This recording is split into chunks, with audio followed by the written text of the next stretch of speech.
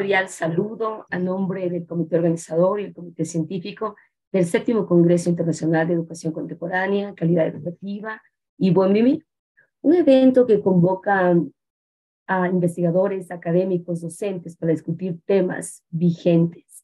En esta ocasión, damos la cordial bienvenida a nuestro conferencista, quien nos acompaña desde Chile, el PhD Aldo Campo González. Es un honor contar con el doctor Ocampo, teórico de la educación inclusiva y crítico educativo. Él es director, fundador del Centro de Estudios Latinoamericanos de Educación Inclusiva CELEI, creador de la primera licenciatura en, Educación Inclusiva impartida en Chile, es máster en Política Educativa, máster en Lingüística Aplicada por la Universidad de España, máster en Integración de Personas con Discapacidad por la Universidad de Salamanca, España, y doctor en Ciencias de la Educación, aprobado con sobresaliente por unanimidad en, con la mención cum laude por la Universidad de Granada, España. Posee además un postdoctorado en Educación, Contextos Contemporáneos y Demandas Populares por el Instituto de la Educación de la Universidad Federal Rural de Río de Janeiro.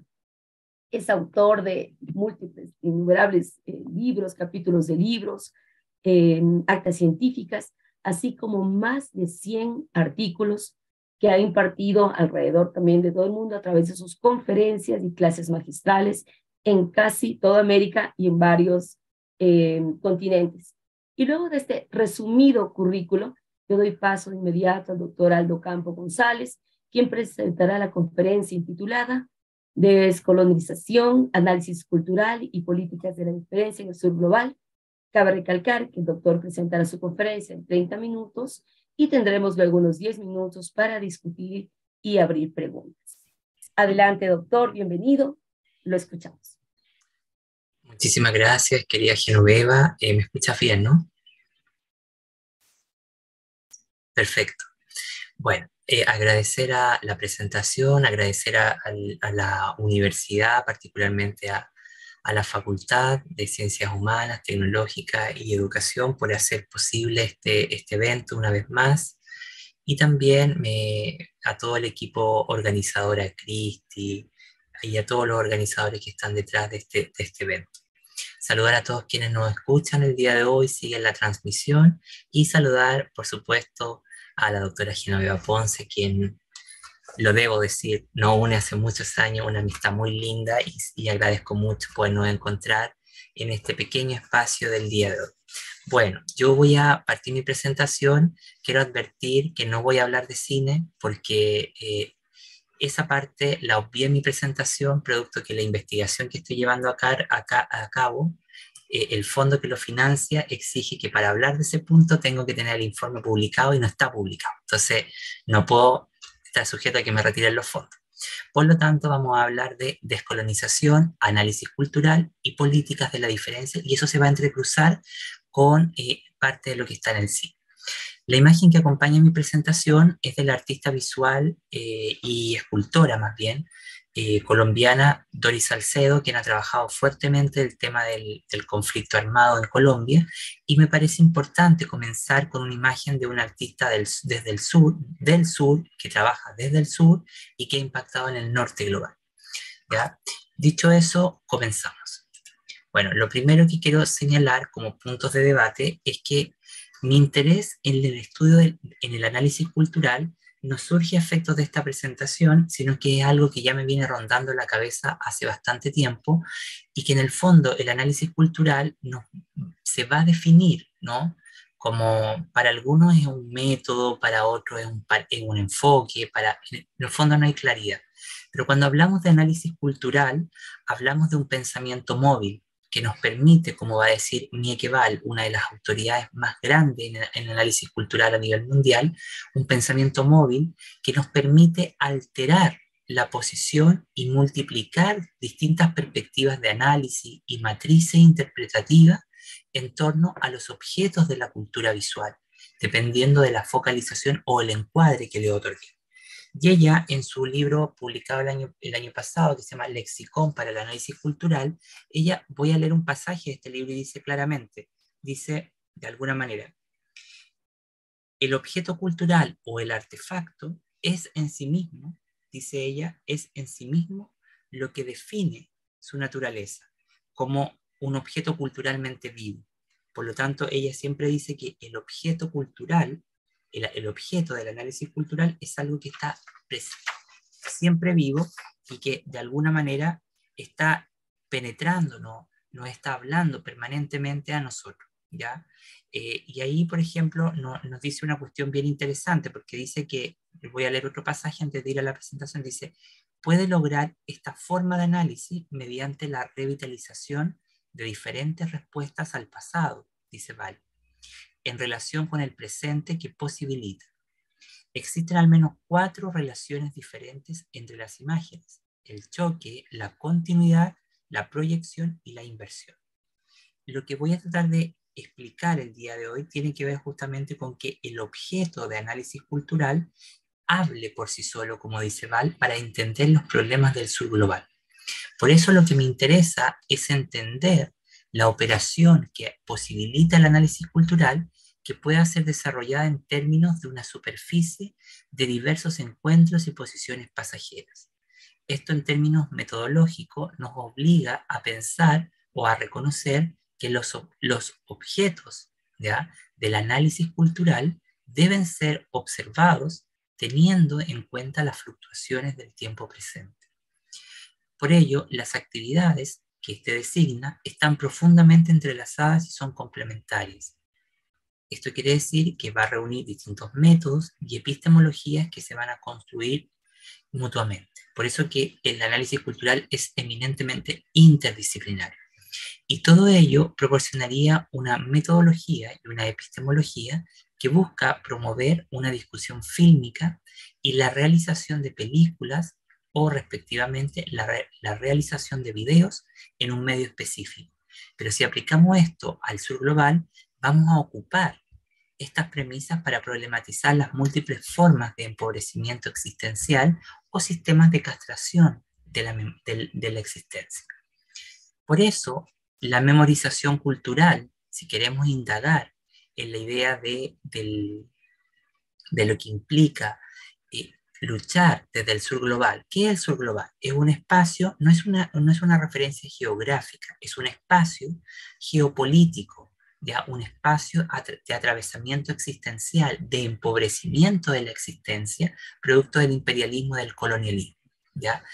Y para entender este empobrecimiento de la existencia, el análisis cultural atribuye, eh, no sé, integra un sintagma que se llama la memorización cultural, que no es otra cosa que una actividad que el lugar del presente, dice Val, en el que el pasado es continuamente modificado y reescrito, incluso mientras continúa dando forma al futuro una construcción cultural en el presente, más que como un sistema de almacenamiento y recuperamiento, funciona para hacernos ver esas complicidades que del pasado siguen estando modificándose permanentemente en el presente.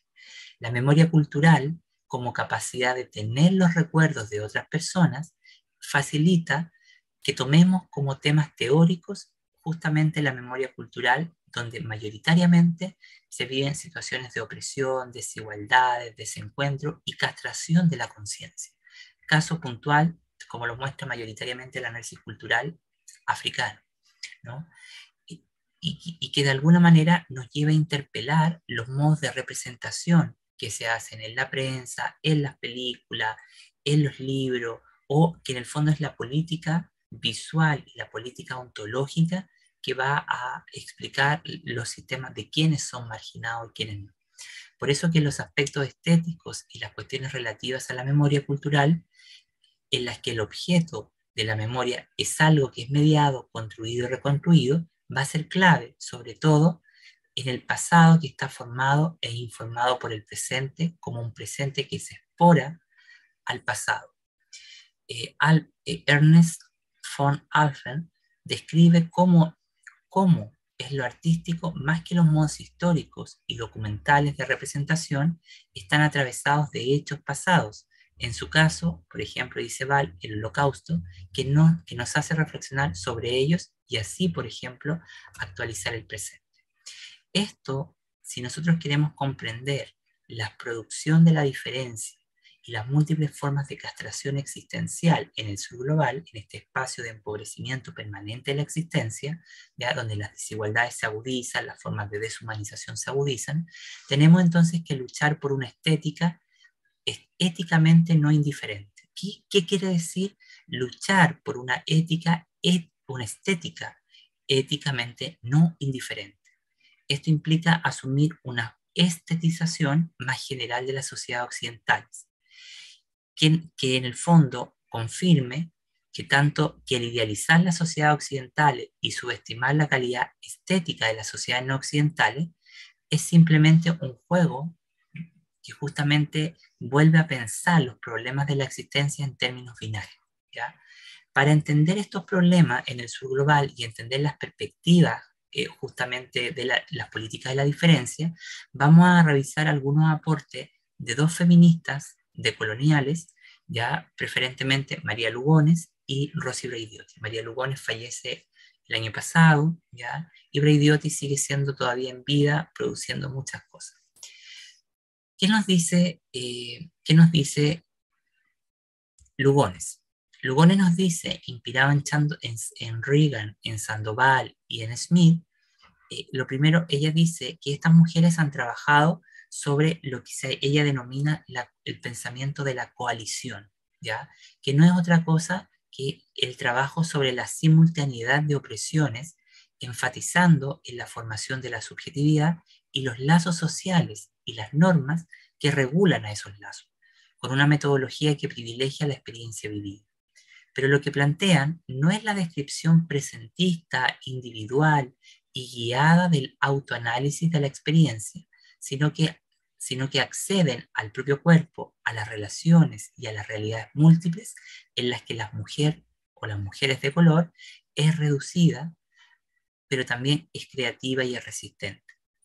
Hay un rechazo a hablar solamente desde la opresión y a habitar solamente un sentido oprimido e individual del ser.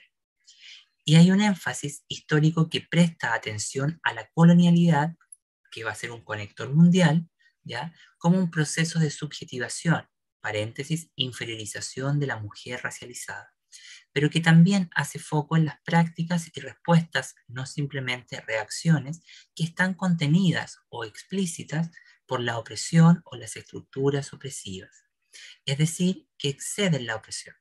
El ejemplo de este rechazo al sentido unidireccional eh, del ser bajo la opresión en el pensamiento y práctica de Lugones es lo que dice ella, es soy oprimida, no soy, nunca dice soy oprimida, siempre dice estoy siendo oprimida y a su vez estoy resistiendo. Este par dialéctico, esta ecuación, en Lugones va a constituir su filosofía la praxis.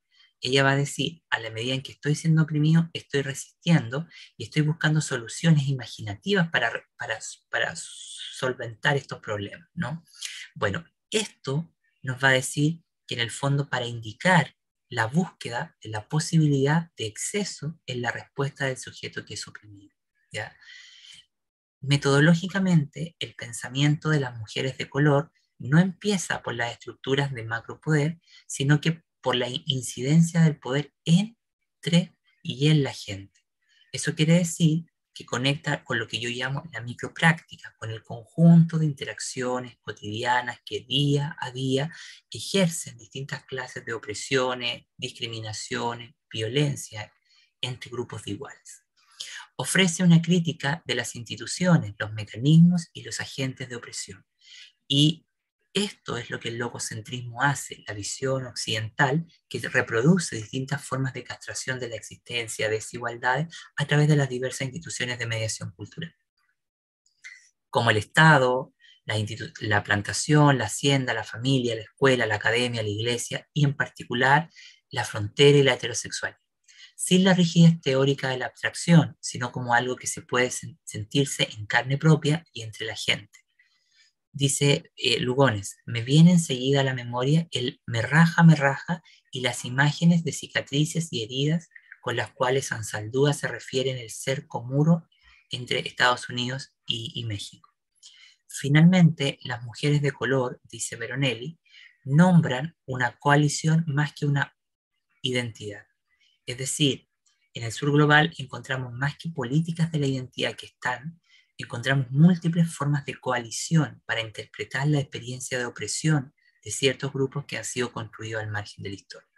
Como proyecto feminista, dice Lugones, la política de las mujeres de, de color tiende y busca la coalición entre negras, lesbianas, chicanas, asiáticas, nativas, árabes de los Estados Unidos, como el único camino de una libertad que permite que su ser sea no para ser usado, sino para ser creativo, es decir, subvertir estos problemas de, de, las formas de racialización, de exclusión permanente.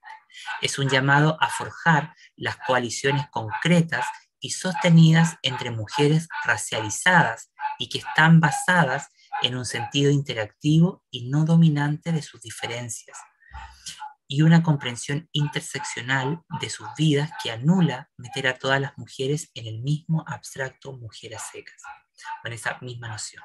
Por eso, dice Veronelli, en esta lámina dice, la teorización práctica de una coalición contra mujeres múltiples opresiones, es en gran medida de lo que se trata este libro, una conversación con el pensamiento comunitarista tanto del anarquismo como del separatismo.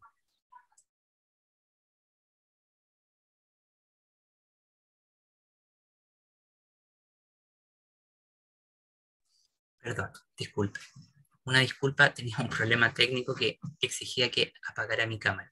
Entonces decía que la teorización práctica de una coalición de un grupo de personas atravesados por formas particulares de opresión es en gran medida de lo que se trata justamente el libro de Lugones, una conversación con el pensamiento comunitarista, tanto del anarquismo como del separatismo lésbico. Y dice Lugones al feminismo de mujeres de color ella lo considera como una característica que actúa en clave de colonial, algo que se distancie de, la ortodoxia para entender los problemas de las mujeres y de las desigualdades. ¿sí? Bueno, en, ese, en esa misma dirección, por ejemplo, ya vamos a tomar entonces y ya entrar de lleno a lo que me interesa, que el concepto de devenir, por ejemplo, va a ser esencial para entender los problemas del sur global y esto se va a entender como inquietudes filosóficas que van a ser propias en la obra de Deleuze, va a decir Idiota, y que está vinculado con su propósito declarado de imaginar la actividad de pensamiento de un modo diferente, es decir, el propósito de redefinir el escenario de la filosofía. Para, para Braidiotti, la noción de devenir propuesta por Deleuze es una adaptación tomada de Nietzsche y por lo tanto es profundamente anti-hegeliana, es decir, se, evita tratar los problemas de la desigualdad, de la existencia, desde pares dicotómicos, ¿ya? sino que más bien se abre una dialéctica inquieta, dice. Devenir no es ni la oposición dinámica de supuestos ni el desarrollo de una esencia en un proceso teleológicamente ordenado que conduzca a una identidad sintetizadora. El devenir de Leuciano es una afirmación, según Braidiotti, del carácter positivo de la diferencia entendida como un proceso múltiple y constante de transformación, en el que se renuncia al orden teleológico y a las identidades fijas en favor de un fluir de devenires múltiples. En este énfasis, los procesos de la interacción dinámica y los límites fluidos es una señal materialista altamente tecnificada de vitalismo, lo que hace que el pensamiento de Luciano sea de un alto grado relevante para el análisis de la cultura patriarcal y industrialista tardía en la cual nos toca vivir. Por eso, dice Braidiotti, la obra de Deleuze se concentra en gran medida en el presente y particularmente en la dificultad y en la necesidad que implica reflexionar, ojo con eso, reflexionar sobre el presente, un tiempo, como dirá Bifo Berardi, evanescente, este énfasis en la actualidad debe interpretarse en el marco del severo repudio de Deleuze a la historia canonizada e institucionalizada de la filosofía como una tradición basada en el pasado y tendiente a sustentar, en su intento de ir más allá de la imagen dogmática de pensamiento sostenida por esta tradición, que expresa un discurso monológico del falocentrismo, Deleuze, dice Braidiotti, redefine la filosofía como la actividad no reactiva de concebir el presente, el momento actual, al a fin de poder explicar adecuadamente el cambio y las condiciones cambiantes. En su búsqueda de figuraciones postmetafísicas del sujeto, Deleuze redefine también la idea de la filosofía en términos intensivos como una corriente de intensidad capaz de elevar ¿ya? la fuerza afirmativa de la vida a un grado más alto. Bueno, esto que va a ser clave justamente lo vamos a traspasar entonces ahora al sur global.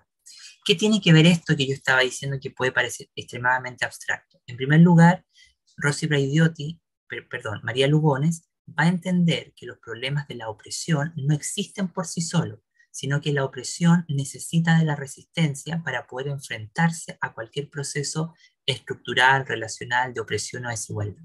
Y Braidiotti va a entender, y Lugones va a acuñar además la idea de un pensamiento coalicional, una coalición, un grupo de personas que están atravesados por condiciones similares de opresión. A esta idea ella lo, va a implantar en su obra que va a ser un feminismo decolonial.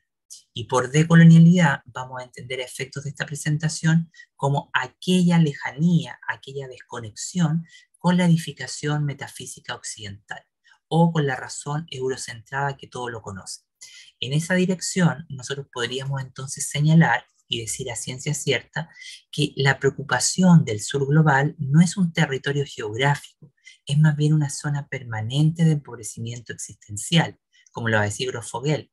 Es una zona interseccional en la cual se agudizan distintas formas de castración, de violencia, de formas de deshumanización. Y aquí nosotros tendríamos que traer a colación la siguiente pregunta, que es lo que vamos a reflexionar ahora en torno al lenguaje y las prácticas culturales. ¿Por qué interesarnos en el lenguaje como un diseño ontológico?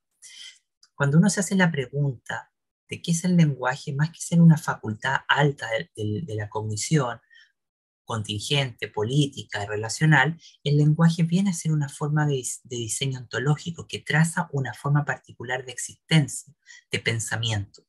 Producto de la modernidad, yo voy a sostener que la modernidad es un espacio de homogenización y, un espacio, un complejo biopolítico, ¿no es verdad? Que va, a, que va a estar caracterizado por producir expresiones universales. Bueno, sobre lo humano, sobre la ciencia, etc. El producto de la modernidad como diseño ontológico tiene por función castrar y codificar al individuo sin, sin lograr que tenga vínculos con su territorio de base. Esta va a ser la premisa fundamental en, el sur global y que se va a dar a través de lo que el imperialismo y el colonialismo llamaron la educación y el lenguaje y la invención de la raza. Entonces ellos hacen una invención de la lengua para controlar y difundir, pero también inventan la raza como un constructo y inventan la humanidad para, producir las formas de jerarquización de lo humano. Y con ello asignarles determinadas tramas semiológicas, sin lograr que tenga vínculos con el territorio. De este modo, se asume que muchos sujetos se encuentran desarraigados de su propia naturaleza.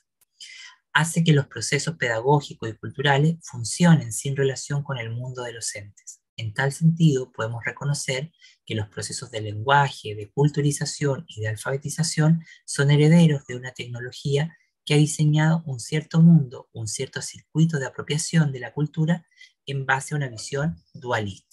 Por eso necesitamos rescatar la idea de la noción de totalidad viva, con partes interrelacionadas que son diseños técnicamente, que están diseñados técnicamente sobre la base de los axiomas abstractos que ya no dependen del saber ancestral de las comunidades y esto hace que los procesos lingüísticos, culturales y en particular educativos se queden desligados de los procesos de la vida.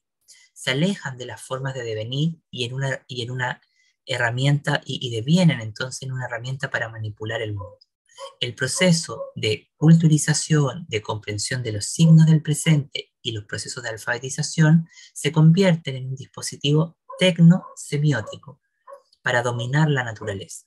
Debemos aprender a reconocer la diferencia ontológica que porta cada forma existencial en su participación en los procesos de inmersión del en los procesos culturales.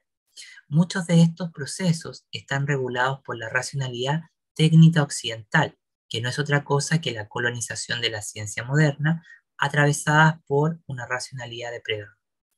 Un argumento crucial es entender la exterioridad ontológica. Esto es ocupar el, proceso de autopoiesis de Maturana, que nos dice que todo ser vivo es un sistema cerrado que se está creándose sobre sí mismo de manera continua y permanente.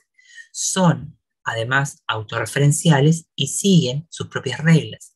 Cada uno sigue su propio desarrollo y operan en función de su automantenimiento. Esto conlleva o permite subvertir los procesos esencialistas.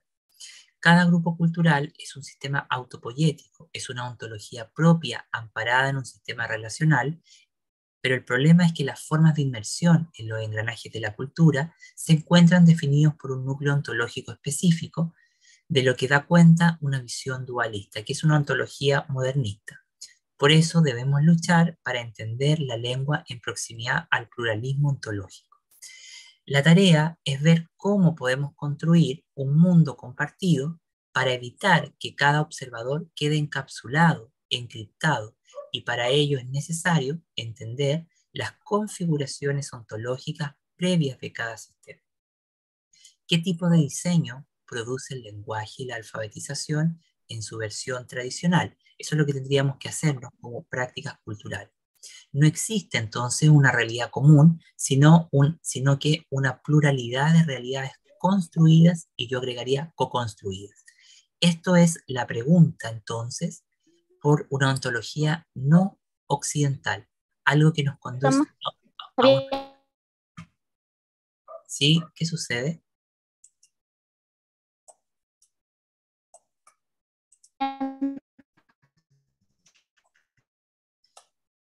Es la pregunta entonces por una ontología no occidental, algo que nos conduce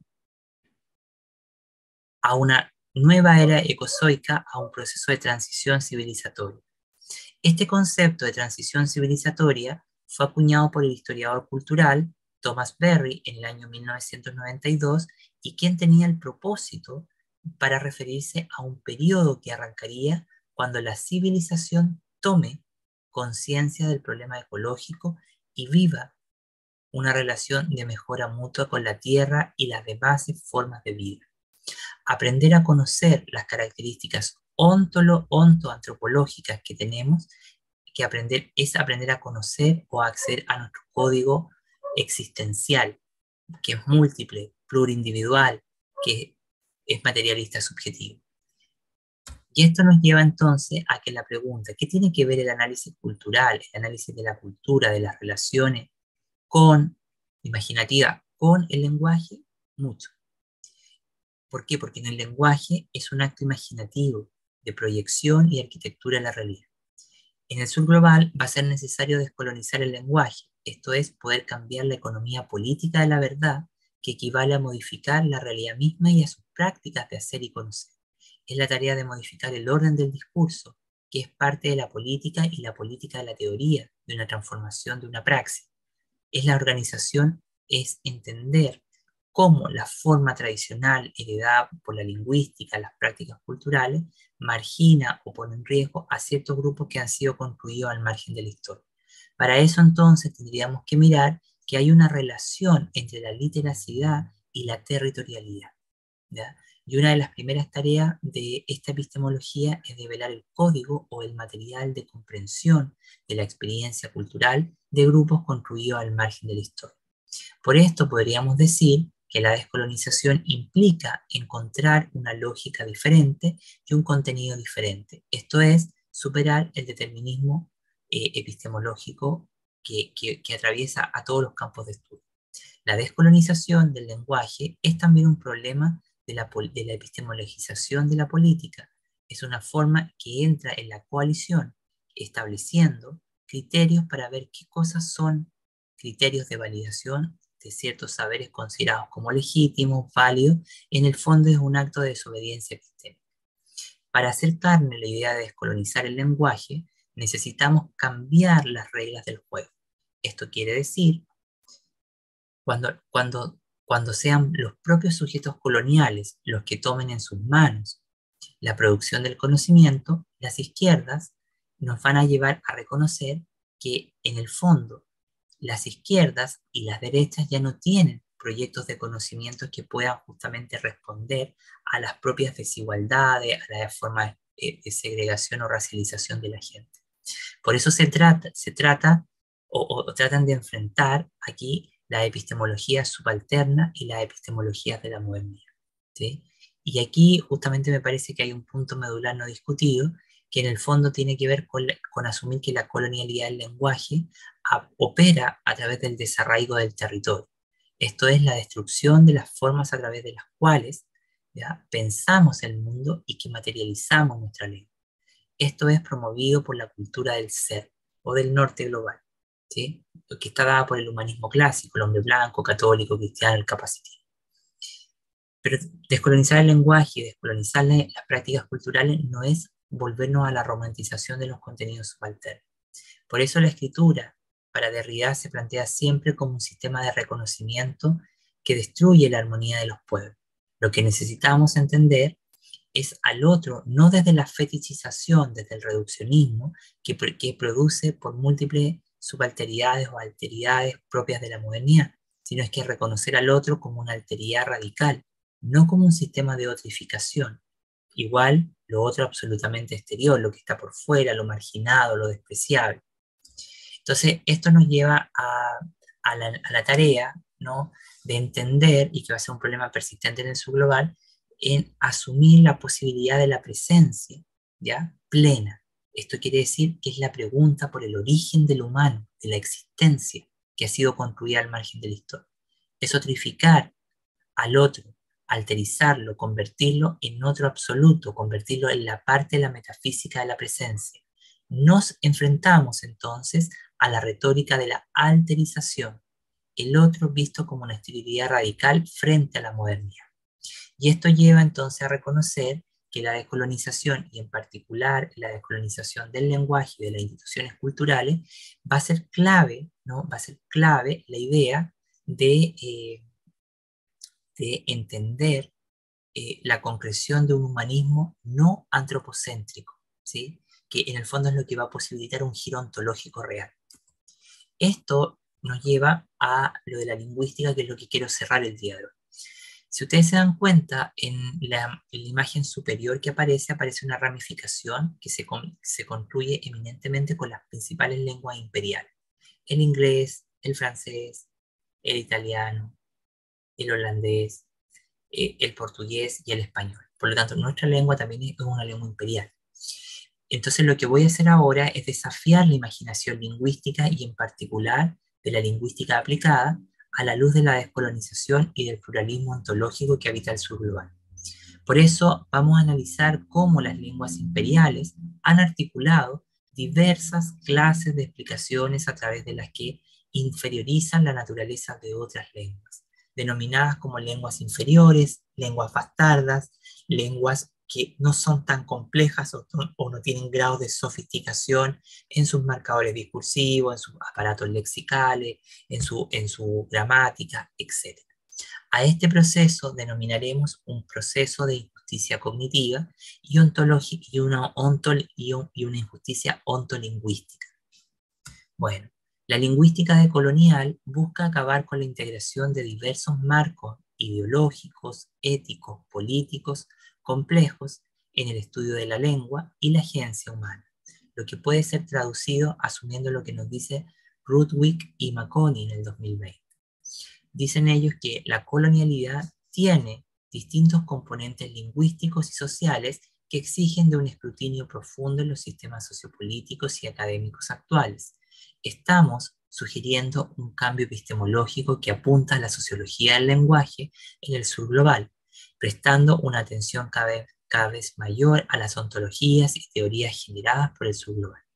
El sesgo del norte de los estudios del lenguaje se ha demostrado repetidamente y existe una, y existe una necesidad continua de reconocer y centrarse en la complicidad entre las formas de conocimiento incrustadas en el campo y la incisiva historia del colonialismo, discriminación y distribución desigual del conocimiento. El enredo de formas de producción del conocimiento arraigado en la historia colonial y perpetuado en el presente vincula la erudición académica también con el privilegio blanco y por lo tanto hacemos un llamado a los académicos para que trabajen hacia una redistribución de recursos para que las nuevas formas del conocimiento puedan revitalizar el estudio del lenguaje y las sociedades complejas. Un proyecto de colonial a nivel de la lingüística y en particular del lenguaje no tiene la pretensión de incurrir en la potenciación de lenguas de quienes han sido construidos al margen de la historia Tal decisión se convierte en una salida políticamente neutral. ¿Por qué? Porque al incurrir en esto se, sanciona una lógica, ya como dice Sarsuri Lima, una lógica que se sigue moviendo en la identificación esencializada y particularizada del otro. La simple potenciación de lenguas indígenas lo único que hace es el confinamiento lingüístico-cultural a nombre de una supuesta promoción de lengua indígena, se cree ingenuamente que se revalorizan sus creencias, prácticas y sobre todo su lengua. Y de ahí el famoso proceso de intraculturalidad, dice él. Se cree que este acto, el de potenciar en sí mismo, permitiría la reproducción de las culturas indígenas. Es decir, existe una relación esencializada entre la lengua y la cultura son por demás conocidas las hipótesis que hablan del determinismo lingüístico, donde el pensamiento de las personas está determinado por la lengua que hablan, lo que significa que las diferentes lenguas poseen diferentes cosmovisiones. Si bien la lengua primera o la materna de una persona implica un sentido de pertenencia a una comunidad de hablantes y se encuentra relacionada con los procesos de pensamiento y también de cognición, no podemos afirmar o negar completamente que esa lengua determine el desarrollo de una cosmovisión totalmente distinta a otra comunidad de hablantes. Por eso la interrogante sigue siendo cómo legitimar un sistema comunicativo real entre hablantes de diversas lenguas, lo que constituye una apelación contextual por la producción de marcos de justicia lingüística y racial un profundo proceso que se enmarca en algo más complejo, la construcción de un esquema de justicia ontológica. En esta dirección agrega Sarsuri Lima que la especificidad de las relaciones coloniales, si bien la lengua, la palabra, de los colonizados son subalternizadas, la precognición para establecer el régimen colonial es la comunicación con el colonizado. Por ello, la comunicación en contextos colonizados no se da en un espacio vacío, neutro, donde se pueda construir una, comunidad comunicativa. Según plantea Jürgen Habermas, la comunicación en los procesos de colonización sirve para imponer mecanismos de poder que privilegian unos frente a otros. Por esta razón, la negación lingüístico-existencial que plantea Sarsuri Lima subyace a algo mucho más profundo que el proceso de colonización en ontológica, mental y existencial que conocemos. Para él, la negación habita en la naturaleza misma del lenguaje, premisa que emancipa y disloca el carácter determinista de este, tal como ha sido imputado por diversas escuelas de pensamiento occidentalocéntricas, a lo que el investigador boliviano agrega, cito, la negación lingüística neutraliza el cosentir y la empatía entre semejantes. Nos encontramos en presencia de un peculiar mecanismo de incompletud de la gente de la lengua, es algo que se construye y se legitima mediante la negación. Por esto, la lingüística colonial trabaja en contra del legado proporcionado por la edificación metafísica occidental, el edificio de conocimiento, puntualmente por los múltiples sesgos imputados por la práctica lingüística hegemónica proporcionada por el norte global. Esta empresa, en términos analítico-metodológicos, se inscribe en lo que Walter Mignolo denomina pensamiento fronterizo, una espacialidad que alimenta sus intereses desde y en la periferia de los engranajes del modo capitalista. Es un proceso intelectual y un movimiento crítico que, según Santos Sousa, tiene como objetivo acabar contra el imperio cognitivo occidental. En esta misma línea, el investigador congolés y académico de la Universidad de Chicago, Saliko Mufene, señala que uno de los, de los propósitos de la lingüística decolonial consiste en reducir el sesgo y la hegemonía occidental en la forma en que sus idiomas del mundo del sur y sus comportamientos sociolingüísticos y sus hablantes son analizados. Tal operación, dice Mufene, acontece por vía de la desobediencia epistémica, una, una etiqueta decolonial que nos invita a examinar cuidadosamente qué sistemas de razonamiento son sancionados como parte de la lingüística colonial y su relación con determinados sistemas lingüísticos que se tornan inadecuados en la zona multiposicional existencial llamada subglobal. Se trata entonces, se trata entonces de hacer visibles un corpus de supuestos erróneos que han sido sancionados por la lingüística, independiente de dónde y por quién se practique la disciplina. Uno de los fracasos cognitivos más evidentes o errores en la producción del conocimiento consiste en asumir el argumento de que muchas lenguas subalternizadas poseen gramáticas inferiores o simples prácticas lingüísticas inadecuadas, o poco sofisticadas preferentemente, por el tipo de conocimiento sociocultural que poseen o por la geopolítica eh, que los inscribe. Nos encontramos en presencia de un aparato de excepcionalismo ontológico que opera en la intimidad de la práctica lingüística o de la propia lingüística aplicada, y en particular de la sociología variacionista, produciendo diversas formas de violencia epistémica. La lingüística decolonial trabaja para desestigmatizar la lengua. Sin duda esto no indexa su quehacer, su quehacer directamente colonial. Ahí está el profesor Salico Comufene, por eso él dice que se trata de aprender cómo son configurados los sistemas de coexistencias comunicativas y en efecto los sociolingüistas variacionistas no se han emancipado del supuesto sauceriano que los miembros de una comunidad de lengua habla ahora en una comunidad de práctica se comunican entre sí porque comparten una gramática. Más realistamente, dice Mufene, es la superposición de que se comunican con éxito entre sí simplemente porque sus respectivas gramáticas ideolectales pueden procesar ¿ya? todos sus diversos enunciados con éxito la mayor parte del tiempo. En esta misma dirección, Mufene sostiene que la lingüística decolonial sugiere reconocer dos nudos críticos. El primero de ellos entiende que la variación de las prácticas de escritura es en gran medida una consecuencia del legado colonial en el que la alfabetización se adquiere en un idioma oficial de la mayoría de los países del sur global, y el segundo asume que la descolonización de la lingüística sugiere socavar el excepcionalismo criollo, aunque no debemos negar las diferencias entre la sociedad y, las comunidades lingüísticas. Pero ¿qué implica descolonizar las prácticas comunicativas? Tal proyecto eh, se convierte entonces en un dispositivo de subversión académica que punza la transformación de los ejes de configuración de la cultura y el proceso de emancipación intelectual y metodológica de las normas coloniales implicadas en el estudio del lenguaje.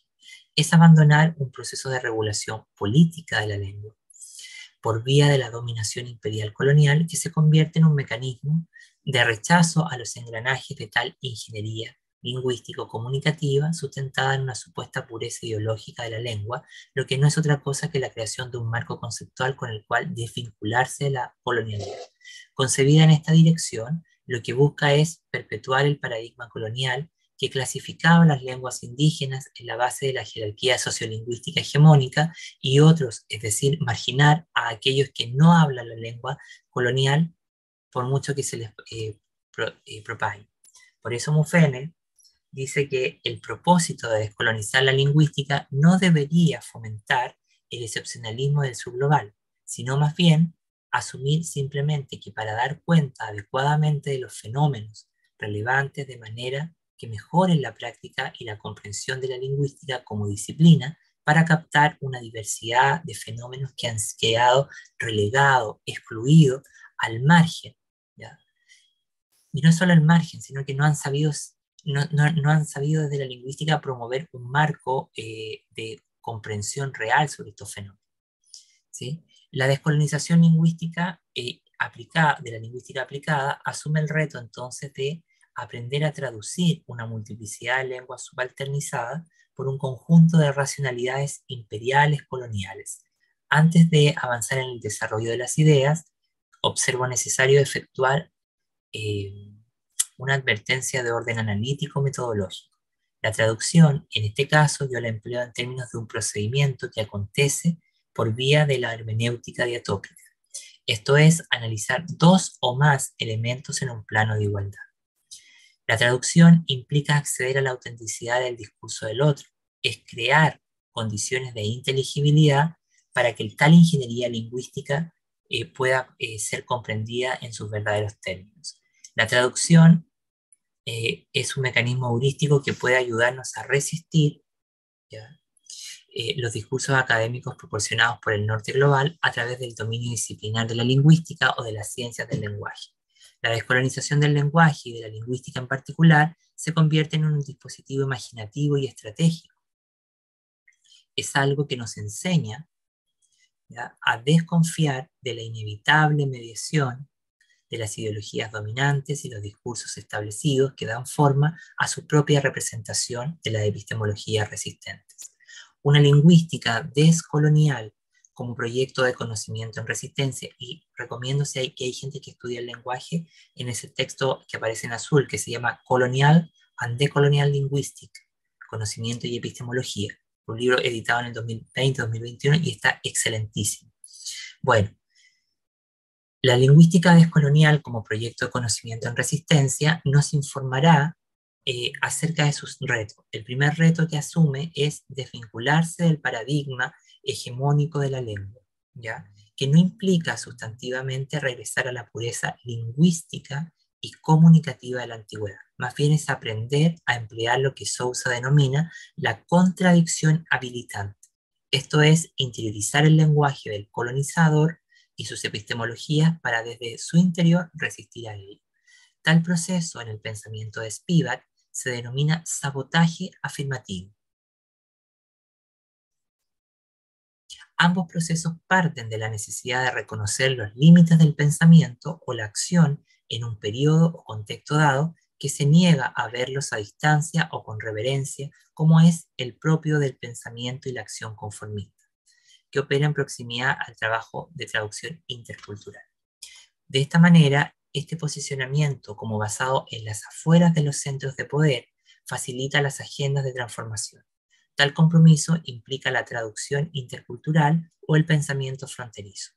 No se trata de encontrar similitudes y equivalencias entre paradigmas en conflicto, sino más bien de generar diversas posibilidades entre discursos disponibles sobre alternativas pluriversales. Implica reconectarse con nuevos significados y posibilidades en un proceso imaginativo pero arraigado, ya que ninguna alternativa será perfecta.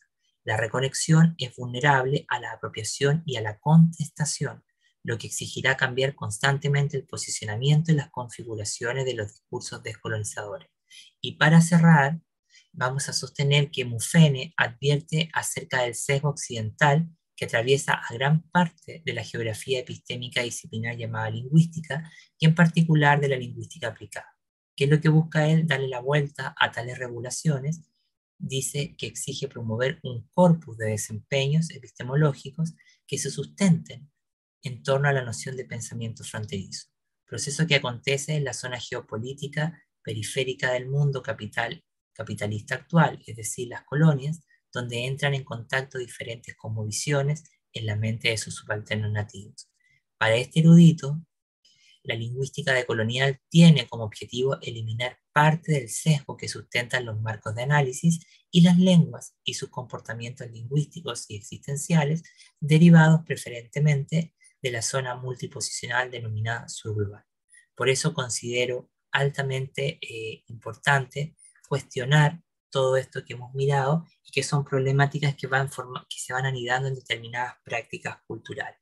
Bueno, yo voy a detener mi presentación acá. Muchísimas gracias a todos y todas. Y nada, discúlpenme por esta presentación y espero haber dejado algo para ustedes.